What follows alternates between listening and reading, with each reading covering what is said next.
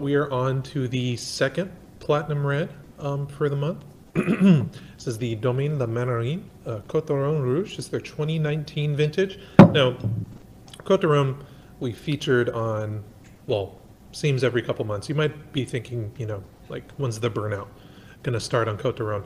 Um, but there's just a ton of variety that I think is under acknowledged from this region. I think this is a really solid example of it. Um, so this is what us nerds call natty wine. It's natural wine.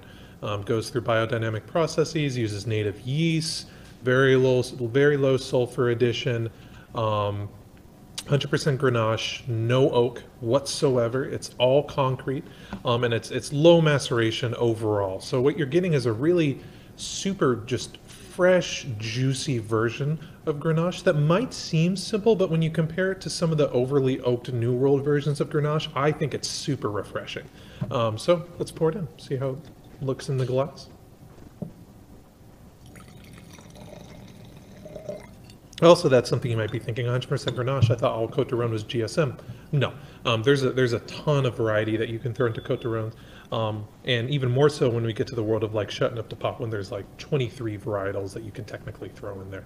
Um, but yeah, Cote de Rhone can have near that same amount of variety. Um, so we look at this, we get this really lovely magenta color, um, a little bit of purple hue. Um, I do believe this wine is unfiltered, if not both unfined and unfiltered. You can see there's definitely um, some some dullness to it. There's some murkiness to it. You can't really see perfectly through the glass, so it indicates that there's um, some sediment left in the bottle, which again, super common for wines made um, using this method overall. It is just bursting with these really fresh plum and raspberry notes. It just jumps out of the glass. There's really not a whole lot of savoriness to the nose on this, um, which again, you might be surprised with with Rhone, but again, you can you can have wines like this from this region. You can smell the acidity. You can smell a little bit of sweet baking spice, a little bit of black pepper on the end there. But as far as like savory, savory notes, um, there isn't much. So yeah, let's give it a taste.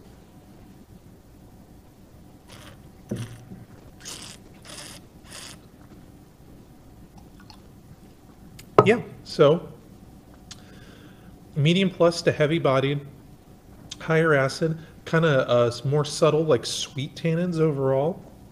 I mean, again, the thing at the very forefront is just this fruit, just this unrelentingly fresh, juicy raspberry, and like a, you get a little bit of like almost boysenberry notes, a little bit of like cassis in there. Not a ton. It's mostly focused on that raspberry and maybe a little bit of cherry element there. Um, the high acid balances out the the perceived sweetness from the fruit. You get a touch of like black pepper on the end, but it's really not that much at all. You get a little bit of smoke, but not a ton. Um, this is just a super fun take on Grenache from a region that's becoming more and more common in the retail scene.